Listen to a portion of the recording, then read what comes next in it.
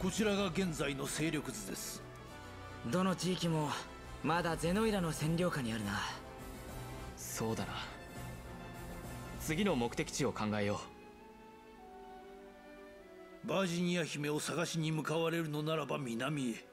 かつてのドラケンガルド国境にあった関所を解放する必要があります。コルニア南東部ミア関所へ向かうのがよろしいかと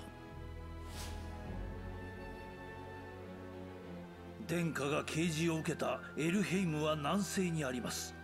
魔女たちの湿地から南西にある迷いの森を抜けていきましょう。